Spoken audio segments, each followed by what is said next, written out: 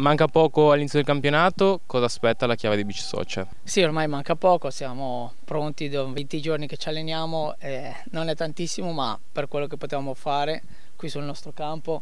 ci stiamo allenando, ci stiamo preparando, stiamo facendo il massimo e venerdì si parte per Pescara, prima tappa,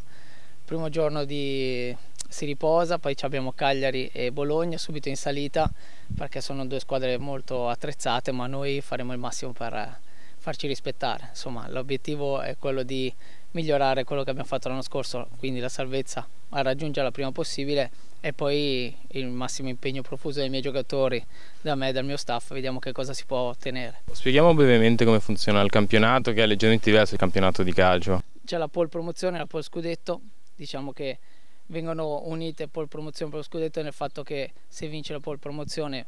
vai a fare la final eight con la, la, la d'elite e invece se arrivi secondo, terzo, quarto vai a fare i playoff e quindi viene praticamente chiamata Serie A promozione Serie A d'elite, Serie A promozione dove siamo noi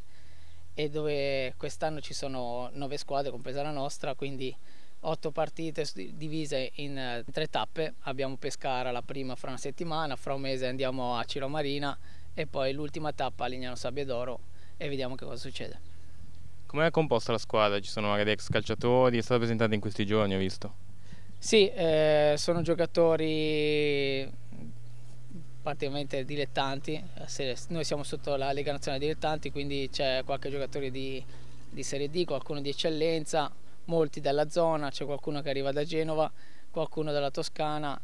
eh, abbiamo anche la fortuna di avere uno dei giocatori, molto probabilmente uno dei top player della nostra categoria che già nel giro della nazionale, Samuele Sassari che l'anno scorso ha vinto il campionato italiano col Pisa, quest'anno eh, ha scelto noi e siamo onorati e fortunati ad averlo.